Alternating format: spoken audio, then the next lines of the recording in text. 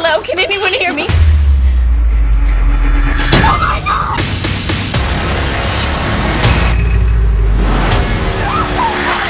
Why are you doing this to us?